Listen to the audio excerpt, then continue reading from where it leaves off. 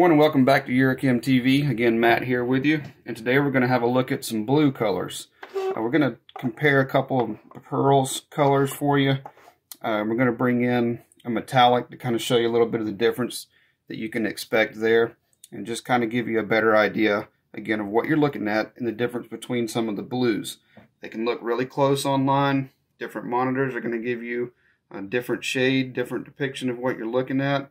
So we're going to give you several to look at here all at once and help you just kind of decipher again what would be best for you and your project depending on what you're looking to do with your paint job. First thing we're going to look at here is the Tru Blue Pearl. This is a very popular pearl blue. It's a two-stage.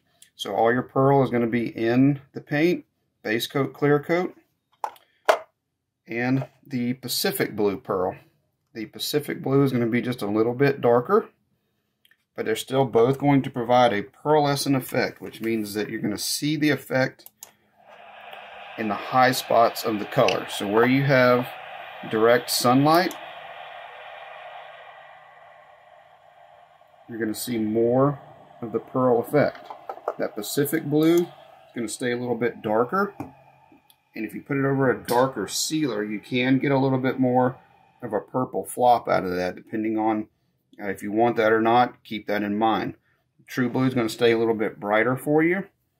Not quite as dramatic of a pearl effect, but you do see it again as you move around the high spots depending on your lighting.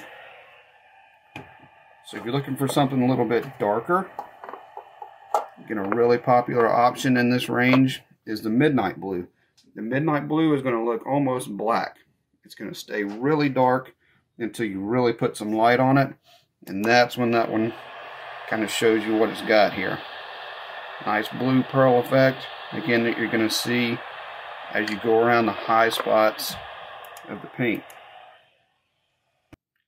Another popular option in the blue color range here that we see is the royal blue metallic.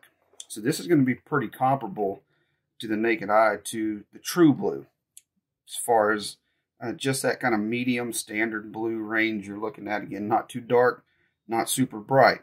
But the difference that you're looking at here in the tru blue is the pearlescent effect versus the metallic sparkle that you see in the royal blue.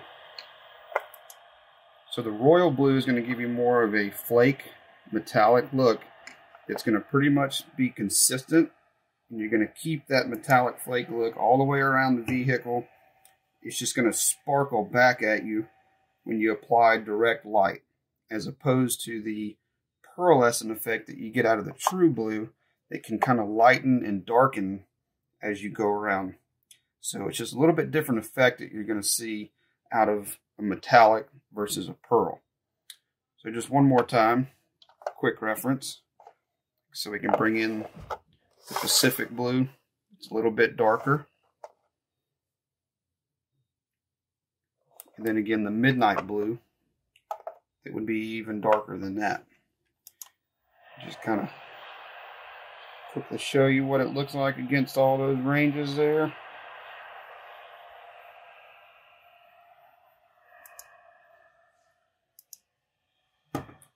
There's some great options for some blue. So if you're looking for a nice blue, you have several different colors to go with there. Thanks for checking out UreChem TV.